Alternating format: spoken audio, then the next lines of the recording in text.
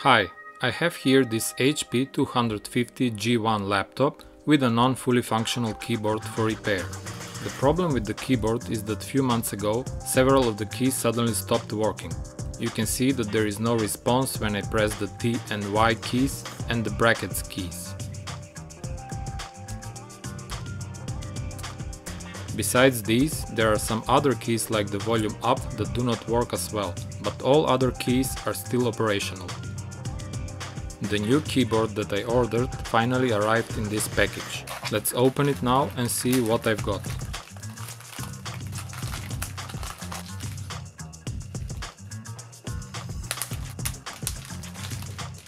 As you can see, the keyboard hasn't been put in a proper package by the sender and it has been mechanically deformed and bent during the transport, so I needed to manually correct the deformations.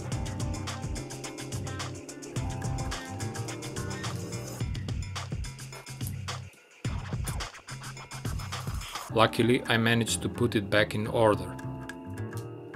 Now we are ready to do the replacement. Follow the next steps to replace the keyboard. First, shut down the laptop through the operating system. Disconnect all external devices connected to the laptop and disconnect the power.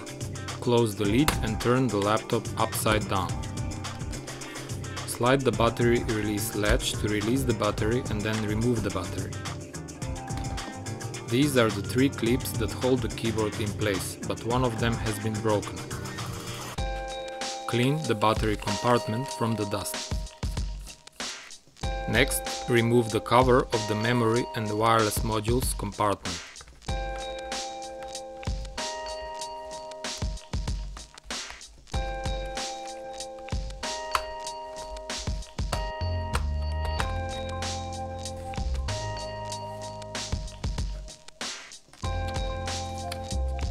Here we can see the memory modules and the wireless module. Remove the screw that secures the keyboard to the laptop.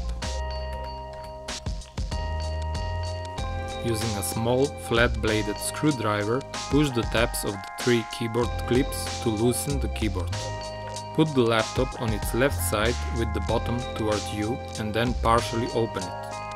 Insert a small screwdriver into the keyboard release hole and then press on the back of the keyboard until the keyboard disengages from the laptop.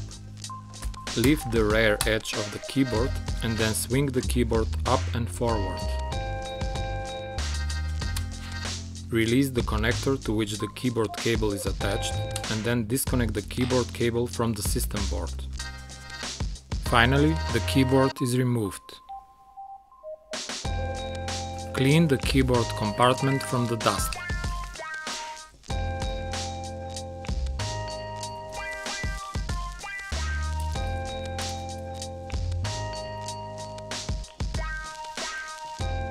Except the labels, we can see that practically there is no difference between the keyboards.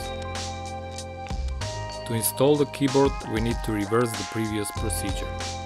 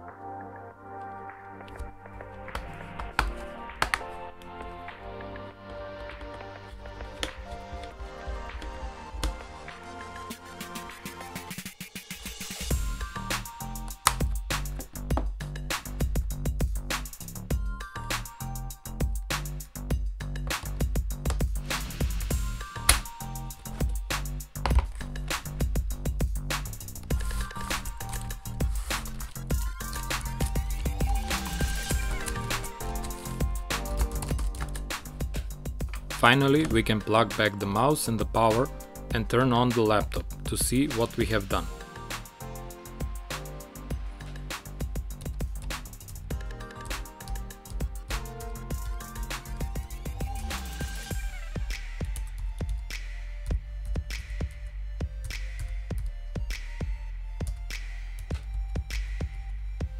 Obviously the repair was successful, the new keyboard is working as expected. Thank you for watching and goodbye.